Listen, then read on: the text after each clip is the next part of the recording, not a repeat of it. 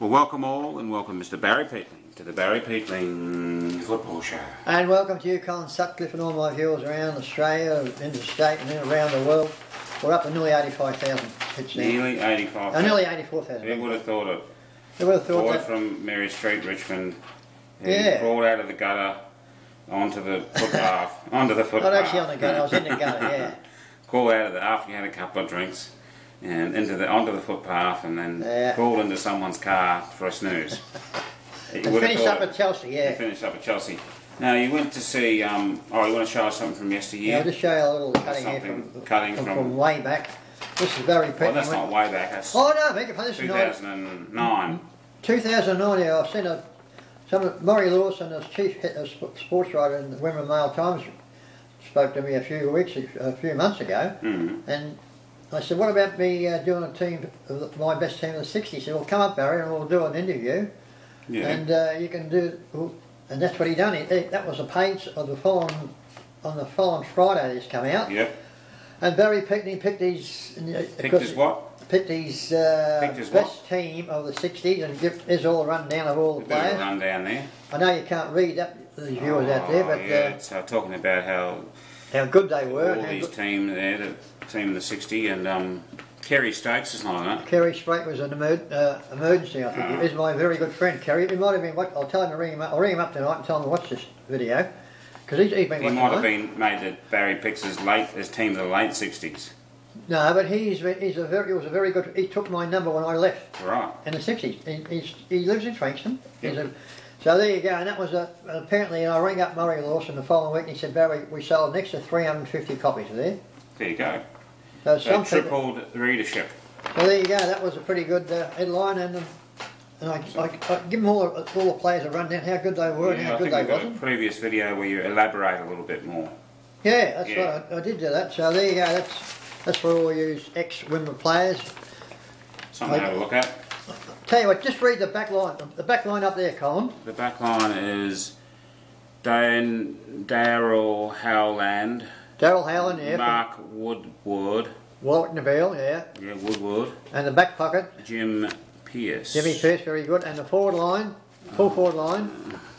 Charlie Tui, Ian Morgan, Robert Dunlop. Yeah, that was the, and the first rack. There we are, the first rack. I was in, I was first. I was picked first. John rack. Ryan, Graham Gross, no, Colin Right. Wilson, no, Oh, that was an emergency, yeah. But Harry Peatling, vice captain. vice captain. Yeah, that's what I was. There you go. And Mick Side was captain. There you go, viewers. Now let's, let's talk about the game that you went to. This is the um, semi-final Bonbeach and Pines game, Barry, on the weekend. A very, very good game compared to what I said about the last two, Yeah. last week. Those two Yeah. games. Yes. Th- These were up to up to scratch. Yeah, so a better game. Where's me? Pass over my glass there, Colin. Which one was about four sets? Yeah, it was about- Very materialistic. Uh, okay, so Sunglasses, are. so um, b- b- b- Bonbeach and Pines, good game. What was your thought? Extra thoughts on the game? I thought it was a very good, even sort of a game. Uh, High standard. a very high standard. I'll give you the half. I won't give you the quarter time. I'll give you the half time. Full score. time. Half time. Pines were five five to Bonbeach eight five, which is a very big surprise. Very Everybody big. thought Pines were going to wipe them off the map.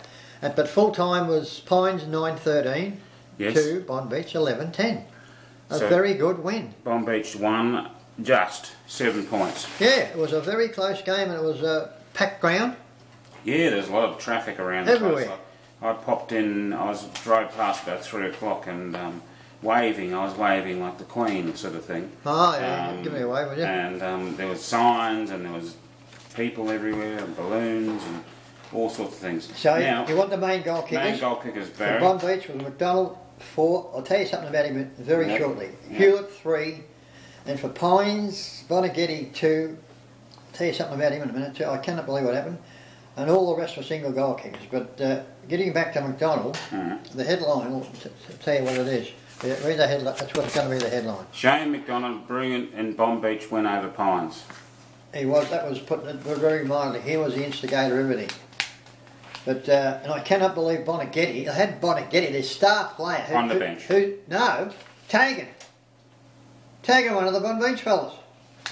What's wrong with these coaches? I mean, he's their, he's their match winner. He was a fella who was playing last week, and his number wasn't it. He's captain. Yeah, He, and, and he was on. He was Tagan last week. yeah. But anyway, he got two goals, and the rest were all single goal kickers. Yep. So best players, Barry. Best players for Bonbeach, McDonald. Oh, look, he is. I'll tell you something. I'll give you. I'll give you a nicer rundown about him very shortly. Owen Hewitt, he can play and can can kick, can kick a goal. Dylan Jones, the number one ruck, and he's about six foot nine, and he killed them in a ruck. Tommy Hogan, he can play. Gavin Vassallo and Bia Bo Bailey. That was a Bo song, Bo Bailey, Bo, Bailey, wasn't it? Bo, Bo Bailey. Bo Bailey, Bill, yeah. He Bill can play too. Bill Bailey. Yeah. And for Pines, this fella was their best player last week too, Nick Bosley. He's a bit dark. Yeah. Oh. Yeah, dark like skin, dark, You don't skin like the darkies? Oh, I, like, I don't wear No, he's the all white or dark, but he, he can number thirty-one. And Paul Scanlon, he was he's a starter fella. He, he's going to be a player for the future because he's only been there a couple of years. And Bo Henry, one of the Henrys, of course, Bonaghetti, uh, I put him in there because he kicked, a couple of goals. Okay. So you want to highlight? Well, give us the highlights package. A hi- there's only one big highlight. Oh, really, uh, Shane McDonald's four inspirational goals lifted aside. They were all 50, all over 50 metres, Colin. I cannot believe this fella. When he gets the ball from centre, he takes two or three bounces and bang! You can hear the ball. His boot hit the ball. Yeah.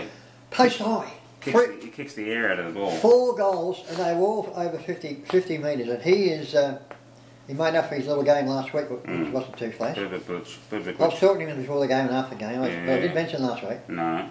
But uh, You didn't want to put a I negative I on said, it. pardon? Didn't want to spin the negative on it. Well, you don't give early. him, you don't give him negative thoughts. That's right. like last week, are you?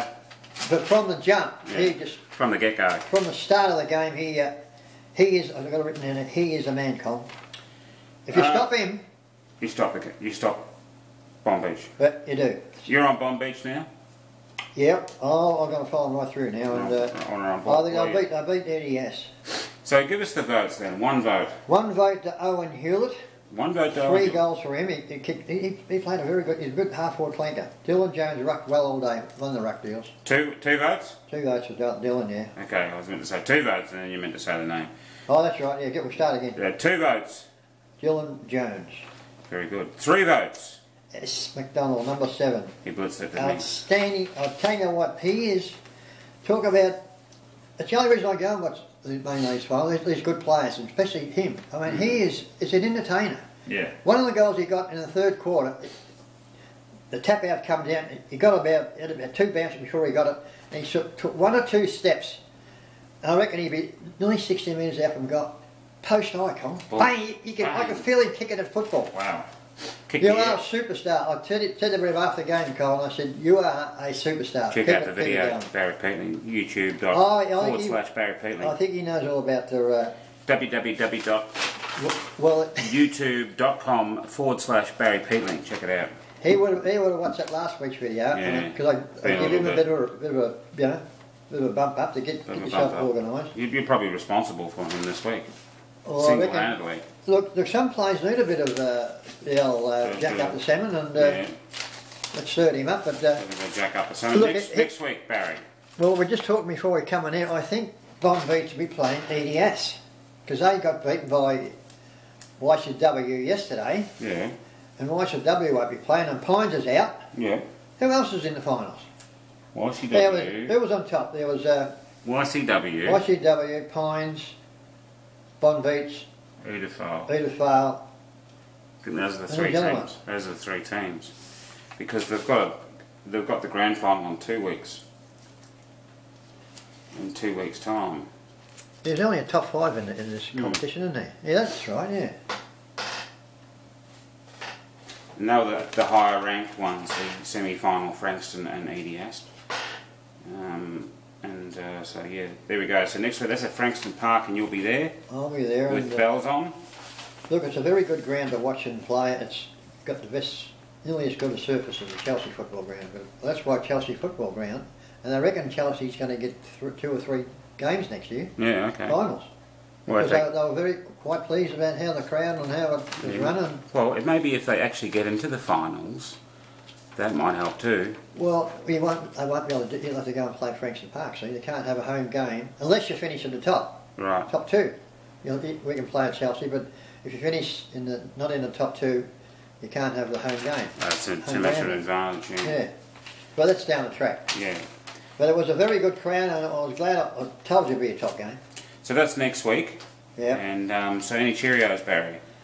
Cheerios are my little darling Ning. She's going all right. She, um, has a few problems every now and then, but uh, Few issues. you have, have a, hope you enjoy this little video because I told her to watch it a couple of nights ago. She's uh, uh, of course P8. Give me a call, P8. I said you a message Yes. last week. He's gonna he's gonna Stop I think he's blocking. no no he's not blocking. he's uh, he might have a bit of trouble with his, with his phone. I hope not, but uh, give us a call, P8. We'll have a chat because uh, I'll tell you all about what's going on on down here and what what's got, happening around Chelsea because it's very getting very exciting. Give you the updates. And of course, who else is doing on Cheerios is there? You settled into your new place all right, Barry? Uh, yeah, I like my little house now. Okay, he's all settled in. Liked it now, but took a while. Took a while. But, uh, he's all settled in. He's got the walls, he's got the Well, stereos. this, the man behind the voice that you're talking Yeah. now, he, he's got me organised. He's got these it's all set up. Got to get a new, just got a, another stereo. Yeah, He's a blaster. He's going to fix that up very shortly. Fix it right up. Can you, reckon, can you can you use them speakers there or not? Maybe. Those are the triple treat speakers, so I don't know what the difference is. Is it Those speakers are not bad. the one over there? Yeah, It should be all right. yeah. But uh, who else will I send a cheerio to? Colin? Ning. Jan, Jan like a cheerio, was she? Yeah, oh, yeah. there you go, Jan. You're, Yes. you're going right too.